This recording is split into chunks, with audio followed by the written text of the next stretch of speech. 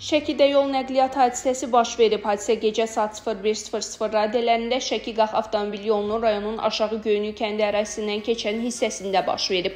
1993-cü il təvəllüdlü Mingəçevir şəhər sakini Elvin Mikayıl oğlu Abdullayev idarə etdiyi minik avtomobili ilə Şəki şəhəri istiqamətində hərəkətdə olarkən idarə etməni itirərək maşını yolun kənarındakı binaya çırpıb. Qəza zamanı müxtəlif bədən xəsarətləri alan sürücü Elvin Abdullayev, anası 1968-ci il təvəllüdlü təvəllüdlü Gülarə Öysət qızı Abdullayeva, həyat yoldaşı 2002-ci il təvəllüdlü Mətanət Hüseyn qızı Abdullayeva, daha 2 nəfər yaxın qohumu 1961-ci il təvəllüdlü Raziyat Məhəmməd qızı Abdullayeva və 1986-cı il təvəllüdlü Şəhənli Arzuman qızı Abdullayeva Şəki rayon mərkəzi xəstəxanasına yerləşdiriliblər.